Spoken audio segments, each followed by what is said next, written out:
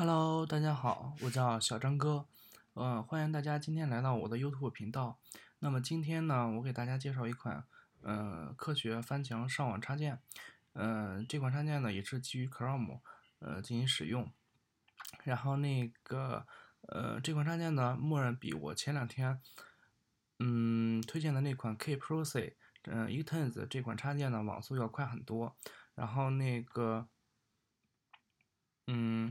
就是说，这款插件默认有，呃，三个免费的服务节点，嗯，呃，有新加坡的，有美国的，还有那个立陶宛的立立宛陶的，啊，然后那个，然后我们亲自去尝试一下吧。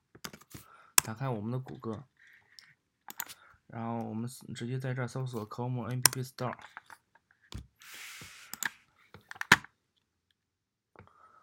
进入谷歌的一种应用商店之后，我们可以在左侧的这个输入框里边直接搜入 “cow”，会出现右右侧呢会出现一个奶牛的图标，就是这个 “free free proxy VPN”，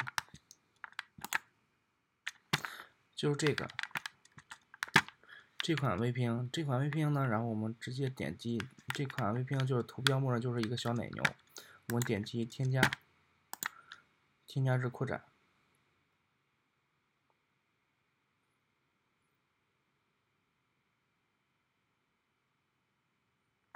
OK，它默目前默认就添加上了。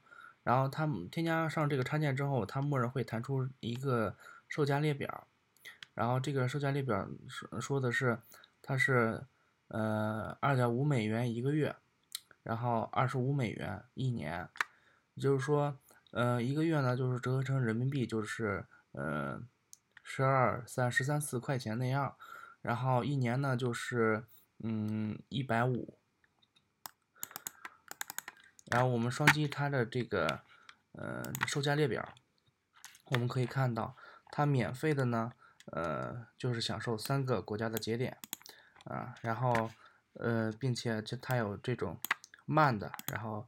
呃，非常低的这种呃网速啊，然后当然就是说它有更快的这个售价列格列表，然后有二点五美元的，还有二十五一年的，然后像都是想享受同样的这种国家的呃服务列表。然后我们去测一下它这个免费节点到底快不快呢？我们可以看一下，就是说这个扩展插件默认就是呃。默认就是我们安装上之后就有三个免费节点，这是呃立晚陶的，这是新加坡的，呃这是美国的。我们可以，因为我我这边呃在我目前本地的这个网络环境，新加坡是最快的，我们可以用新加坡来去测一下。OK，直接上 YouTube，上 Google。OK，大家可以看到，嗯，基本上算是没有问题的，啊，然后那个，呃，打开谷歌呢也算是秒打开，然后我们直接再搜一个 Google Chrome Store，我们可以看一下，然后它的这个打开网页的速度呢是零点四三秒，然后直接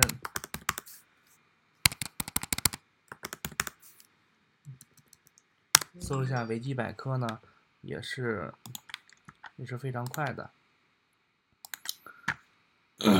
然后，OK，我们可以看到，打开维基百科是没有问题的。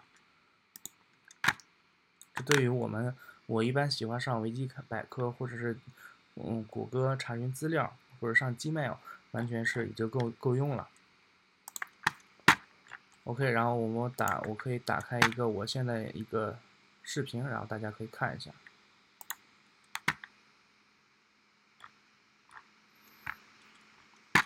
然后我打开我的这个视频，我们亲自看一下网速到底是多少呢？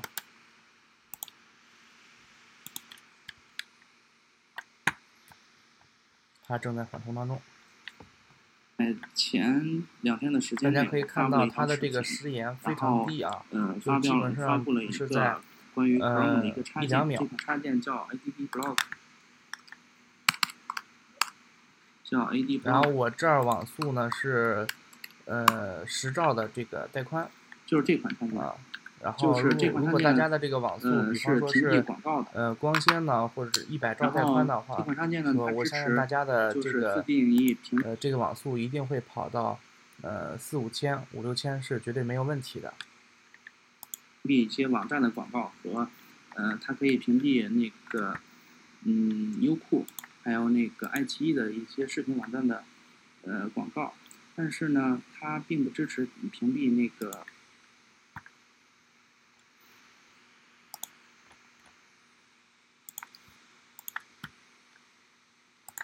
直接搜 720P 吧，1080P 确实有点吃力。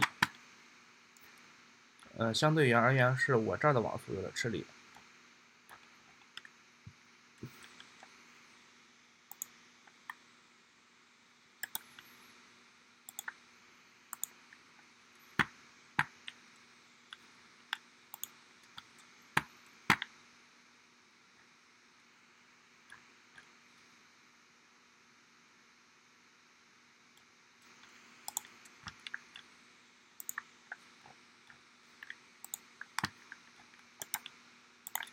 可以试一下试试，看能不能连连接上。OK，然后连接上，然后我们可以试试。大家可以看到啊，这网速，呃，虽然我这儿不是特别快，大家可以亲自去尝试一下。然后我之前在那个呃一百兆的这个宽带下去试过，然后每秒钟能跑到呃五六千、六七千是绝对是没有问题的。然后大家可以亲自去尝试一下。然后这儿有三个服务节点，啊，具体去亲自实际操作。如果感觉对它这个服务插件比较满意呢，但我建议是大家可以先购买它的一个月，呃，不要一次性不要买太多，因为就是说这种怎么说呢？就是说这种 VPN 的这种，呃，这种插件呢，呃，怎么说呢？算是跑路的比较多。这个一旦跑路呢，然后你，呃，也没法去申诉。啊，所以就是说，建议大家去一个月一个月买，不建议去一次性去买一年，不要去贪图买一年的那种那点小优惠或者小便宜，然后这个呃贪便宜吃大亏嘛。所以就是说，如果是我的话，我会选择去一次性买呃一年的，不是一次性去买一个月的服务，呃一个月一个月的去买嘛，然后不建议去买一年的。好的，然后那个今天就给大家介绍这么多，然后具体。呃，具体使用情况呢，然后大家去亲自去测试一下，然后呃，也欢迎大家能够，如果喜欢的话，能够订阅、关注和订阅我的频道，然后我会以后呃会有更多的这这种精彩内容推荐给大家，呃，谢谢今天的观看。